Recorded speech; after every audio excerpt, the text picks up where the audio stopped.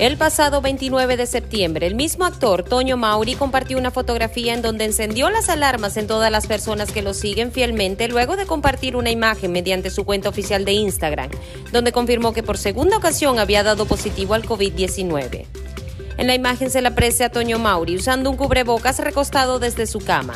Dentro de la descripción compartió un alarmante e inesperado mensaje con el que confirmó las sospechas en redes sociales.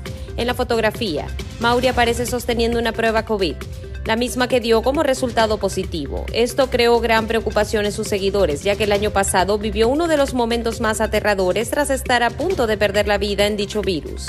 Otra vez COVID, por favor no bajen la guardia, no se confíen. Yo con mis cuatro vacunas y refuerzos me volvió a dar.